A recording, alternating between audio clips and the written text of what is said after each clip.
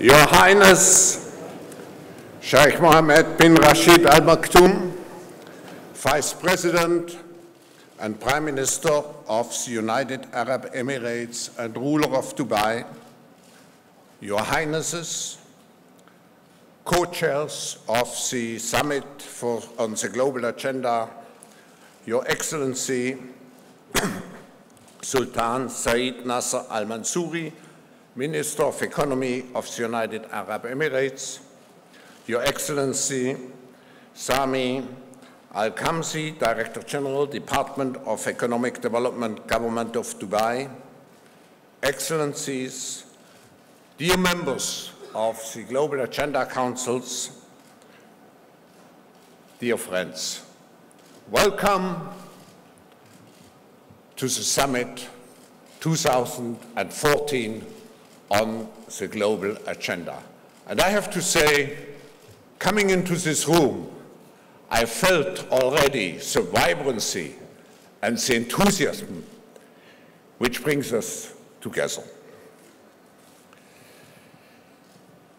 Your Highness, Sheikh Mohammed bin Rashid Al Maktoum, I first would like to thank you.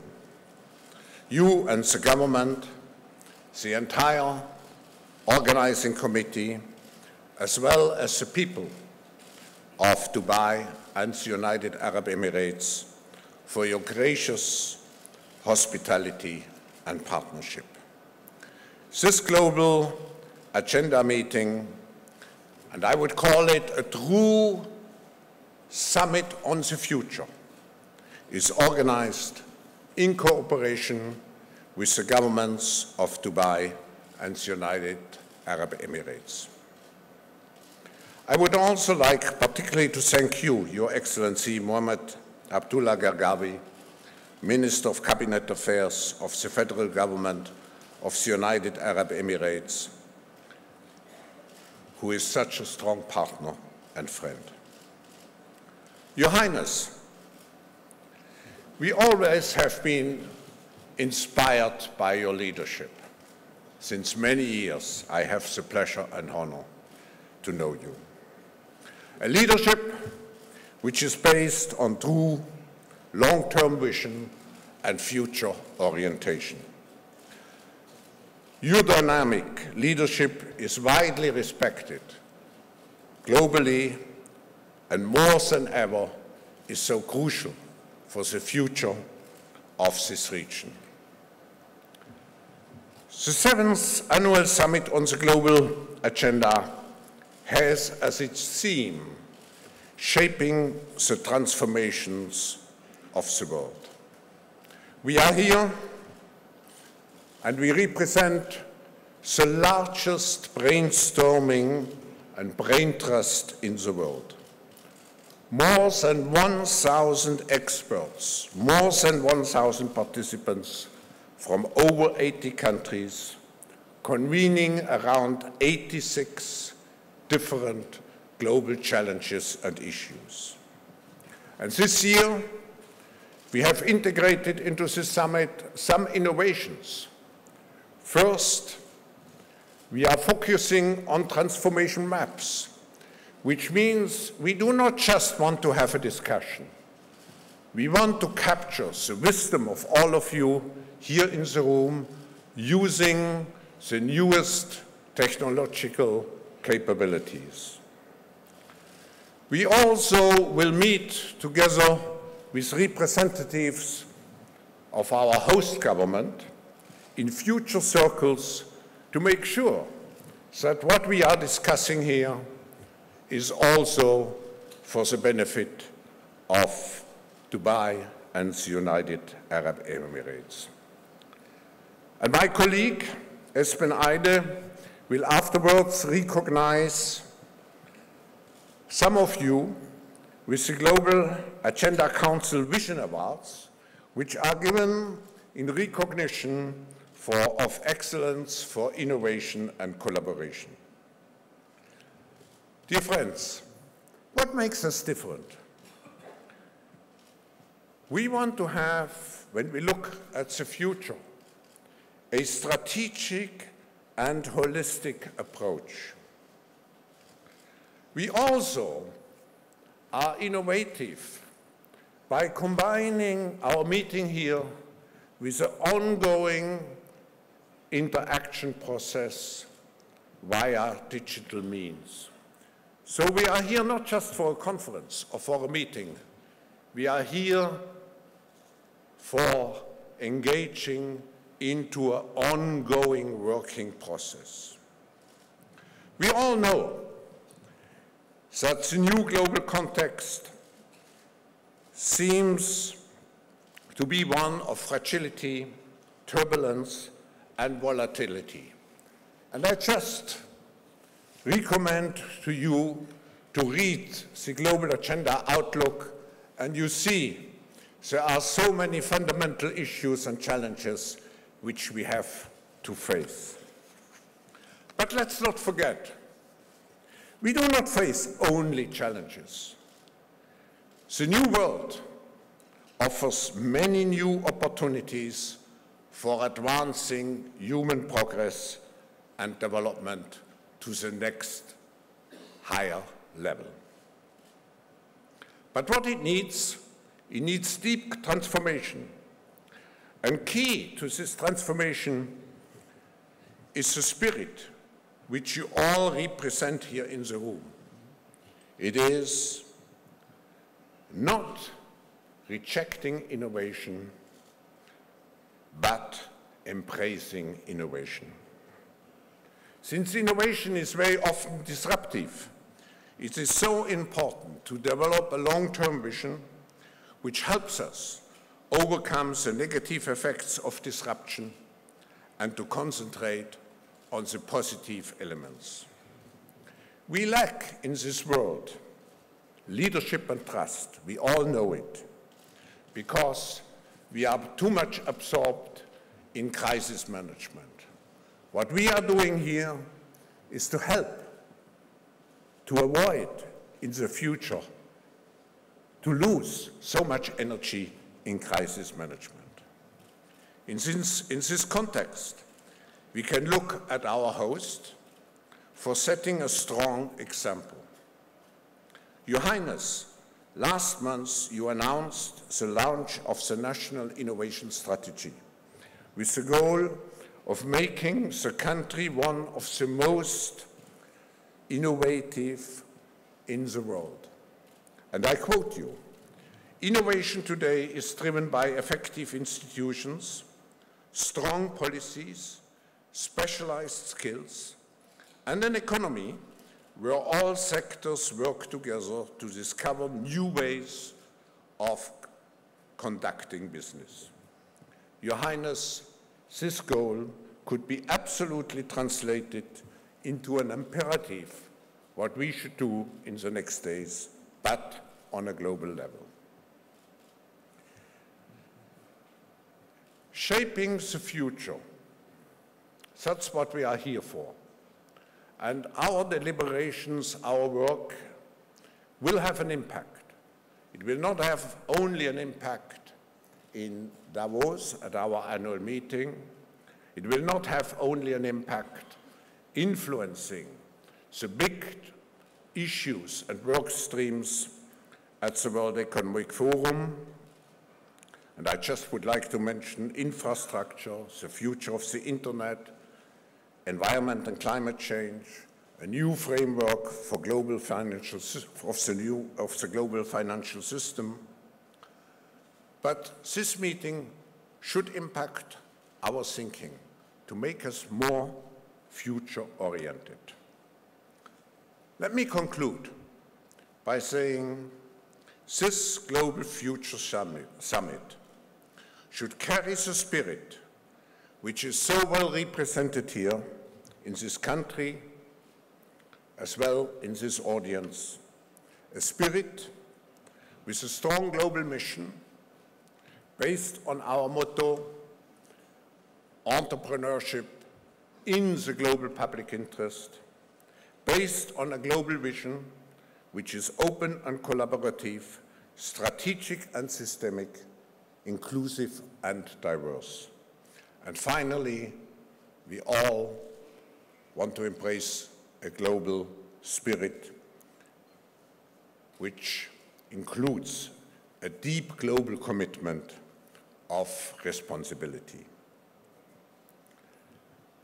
Ladies and gentlemen, I have now the pleasure to give the floor to Your Excellency Sultan Said Nasser Al Mansouri, Minister of Economy of the United Arab Emirates.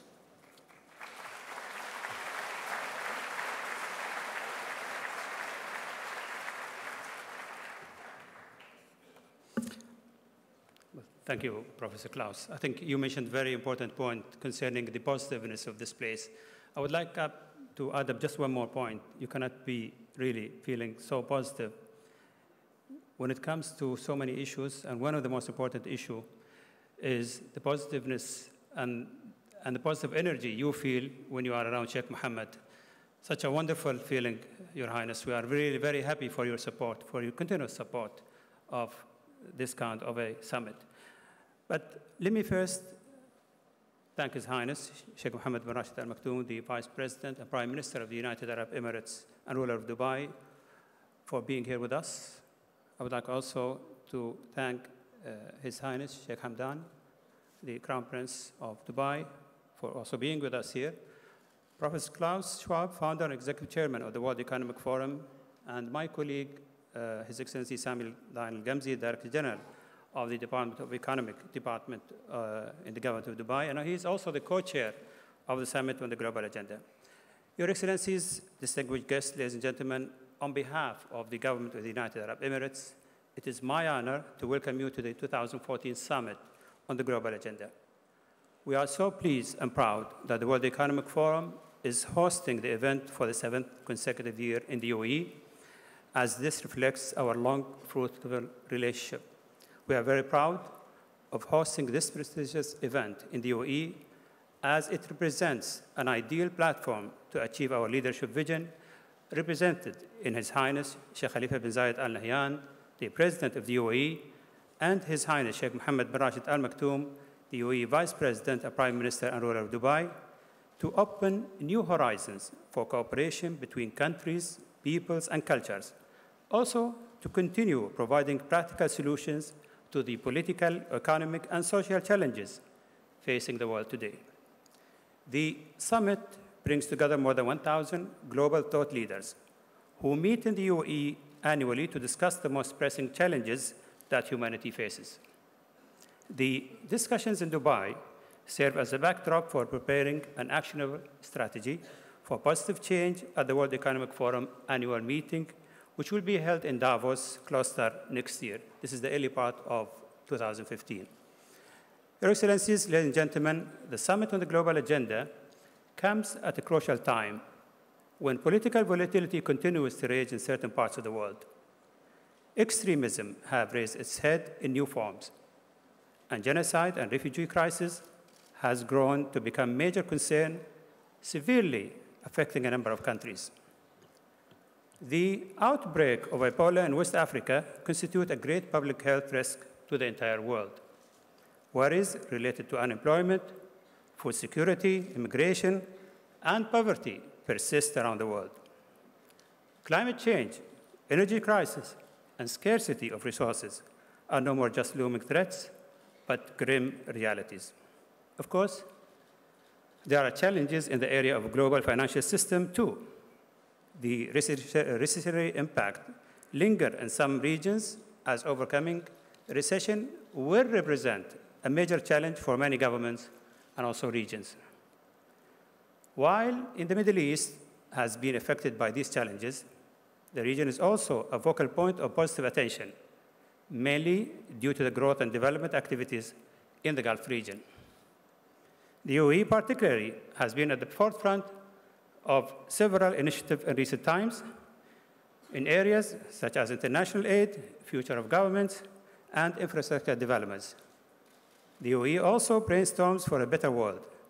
Sharing the success of the UAE in creating growth environment will be invaluable in finding effective solution to crisis situation and also in redefining the world development agenda.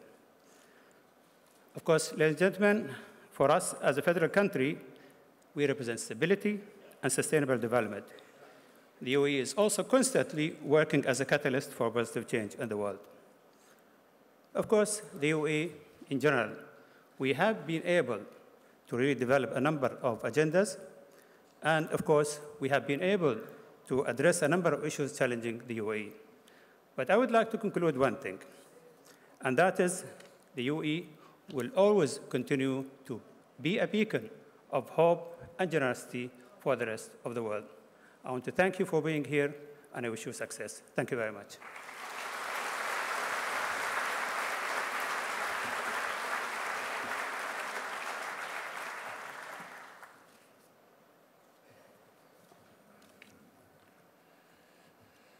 Thank you very much, Minister Al-Mansouri.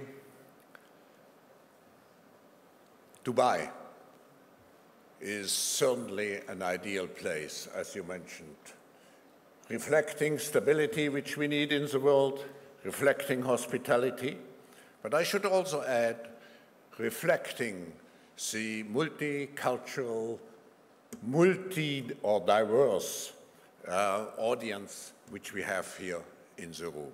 So thank you for your hospitality. May I call now on Your Excellency Sami Al Qamzi, Director General of the Department of Economic Development of the Government of Dubai.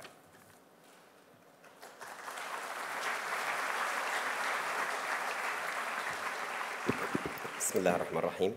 I will going to deliver my speech in Arabic, so please, if you want to use the translation devices, please do. صاحب your uh, Highness uh, Sheikh Mohammed bin Rashid Al Maktoum, Vice President, Prime Minister, Ruler of Dubai. Your Highnesses, Your Highness Minister of Economy uh, Sultan Saeed Al Mansouri, co chair of the summit and the global agenda. Professor Klaus Schwab, the founder and executive chairman of the World Economic Forum. Your Excellencies, honorable guests, ladies and gentlemen.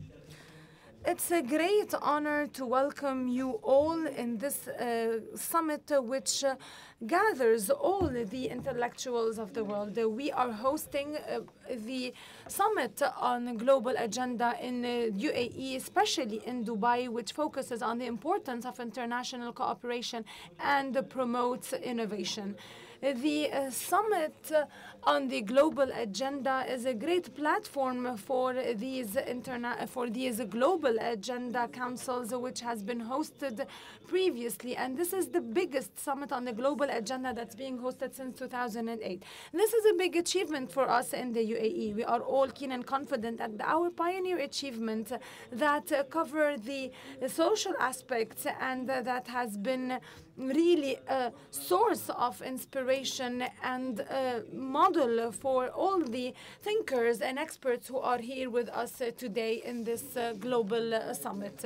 And under the leadership of His Highness uh, Sheikh Mohammed bin Rashid Al Maktoum, Dubai has adopted the Sustainable Development Road and it has put it as the main goal for achieving growth. Dubai, with its solid economy, strong infrastructure, and and concentrating on a knowledge-based economy and the competency of its human resources constitutes uh, or can constitute a big uh, pillar for the achievement. And uh, looking into the, our daily work, we can see that we have positive indicators about our economy and the growth in our economy in the different sectors such as trade, transportation, and uh, services. Dubai has been able uh, today to find this positive correlation between the different people based on the continuous efforts deployed by our leadership in order to have interaction among the different uh, people living in Dubai. Dubai is uh, really hosting today more than 200 nationalities who are living and coexisting together, living in cohesion and peace. And in light in diversing its economy, Dubai has added the Islamic economy based on a comprehensive and integrated system, including Islamic finance, marketing the halal food products, family tourism destination, and the Islamic art and design center.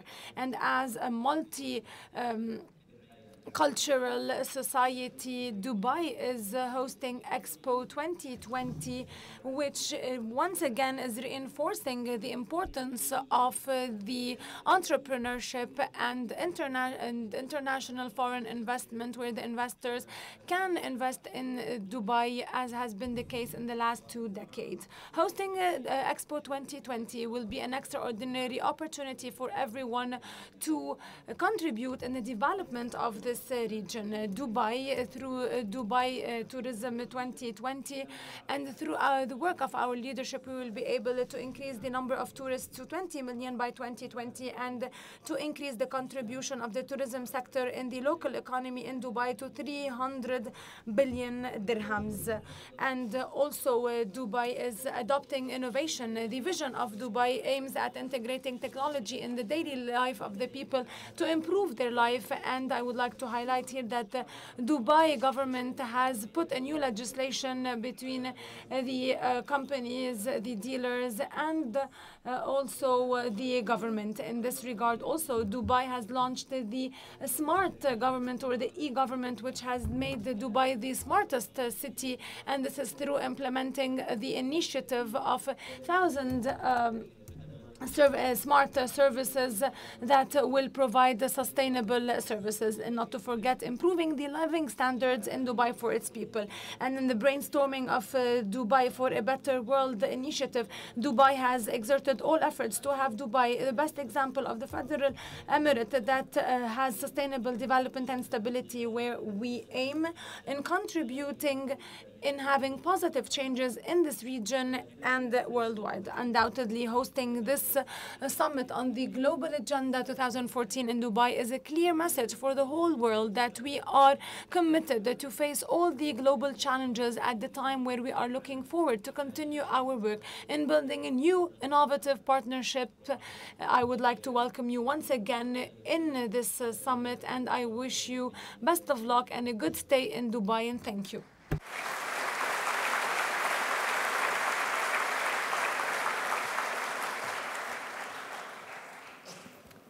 Thank you, Your Excellency. I'm, I'm convinced uh, that at the end of this summit, you will have 1,000 good ambassadors going out in the world to make promotion for the uh, World Expo here in uh, Dubai in 2020. And congratulations for having won uh, this uh, distinction to be the host of the Expo. May I call now on uh, my colleague Espen Eide, member of the Managing Board of the World Economic Forum, former Minister of Foreign Affairs and Defense of uh, Norway.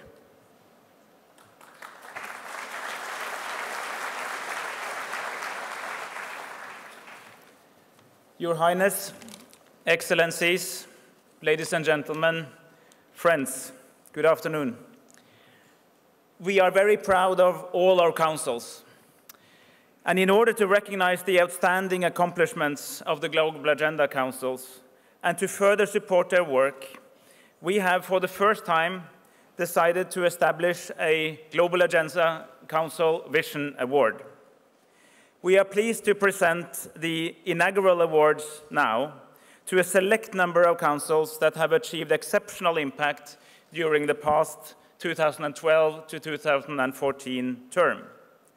The criteria we chose uh, in order to select the winners was to look for breakthrough and forward-looking ideas, to councils that focused on a major challenge related to the global, regional, industry agendas, ideas that displays vision, pragmatism, and leadership, and that also clearly defines an execution plan with time-bound milestones, and which has the potential to leverage the forum's multi-stakeholder communities. We decided also to divide the, the, uh, the, categories into two. So we have one uh, set, two awards in the category a breakthrough individual council idea, and two awards in the category a high-impact collaborative cross-council idea. And for the latter, this is very much an inspiration to one of the major themes of uh, this year's summit, that in addition to strengthen the council work, we also want to strengthen the work across council and find some good examples to do so. And I'm happy now to announce the winners in the first category, a breakthrough individual council idea. And the winner is the Global Agenda Council on the Intellectual Property System. This council worked on a number of projects to improve access um, uh, to the benefits of international property pro system uh, to the bottom of the pyramid. The Council's main work was around the pro bono assistance, IP assistance project, which was recently launched in Colombia. It also created state-of-the-art educational modules around IP and facilitated dialogue around the advantages and drawbacks of IP regulation.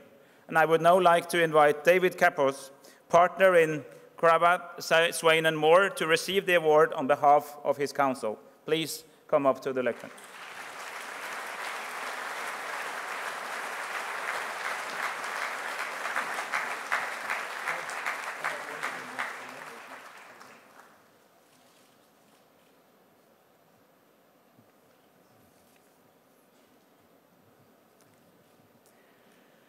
The second winner in this category, a breakthrough individual council idea, is the Global Agenda Council on the Future of Government. The Council advanced the understanding of how technology is transforming government and the nature of politics. The Future of Government Smart Toolbox and the scenarios on the future of government provides an analysis on how technology is impacting the demands placed on governments to deliver more with less as well as affecting government's ability to meet expectations. I would like to invite Professor Jane Fountain, Director, National Center for Digital Government, University of Massachusetts, to receive the award on behalf of the Council.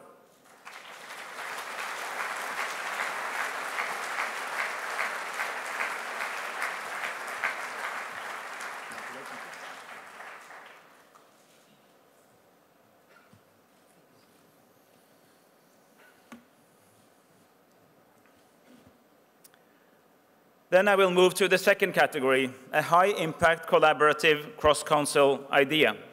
And there will be two winners, and the two winners are two pairs of councils connecting from what might seem different starting points into one collaborative idea with concrete implications and consequences for policy. The winner is, the, the first winner is the, the pair the Global Agenda Council on Emerging Multinationals and the Global Agenda Council on Youth and Employment. These two councils launched the landmark 10 Youth Initiative. They created an innovative methodology of mentorship and apprenticeship models that on the one hand will help the unemployed youth acquire hard and soft skills that will be a big boost in their career development, and on the other hand, to provide companies with an efficient and affordable tool to find and retain the talent they need to succeed in their operations. So I will, I will now announce the two uh, winners, and I ask them then uh, jointly to come on stage. I would like to invite um, Subi Rangan, the Abu Dhabi Crown Prince Court and Down Chair in Societal Progress in INSEAD, and Jamie uh, McAuliffe, President and Chief Executive Officer, Education for Employment, to, re to receive the award on behalf of the two councils. Please come to the podium.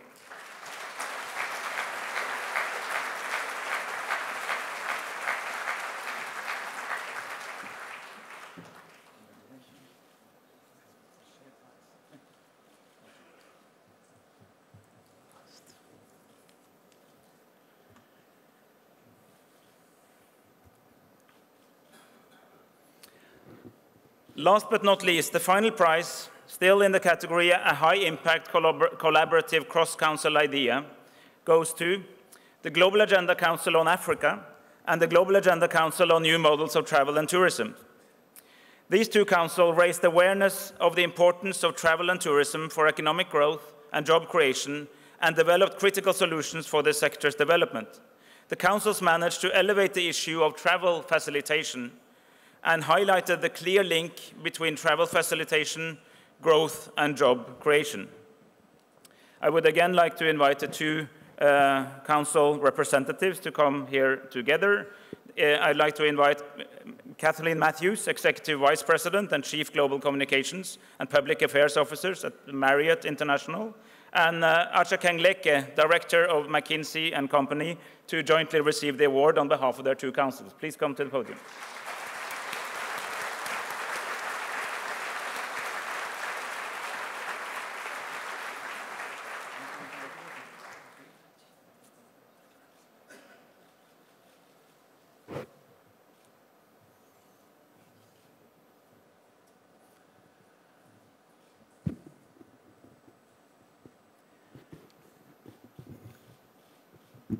Now I imagine that um, all of you who are in councils are wondering how we can, you can win the prize next time.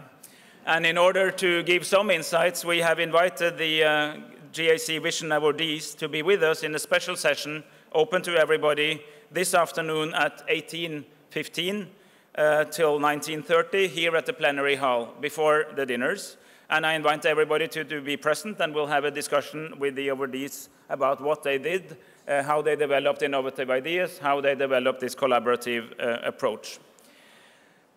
In a second, I will conclude, but I just like to underline that I would like everybody to be seated or standing uh, until um, uh, the uh, dignitaries have left uh, the room. And by those, and by saying that, I also wish you all a, wishful, a successful summit. And I would like you all to your first council meetings, which starts at exactly 14:15 in the designated council area. Uh, thank you and uh, all the best for these days' work.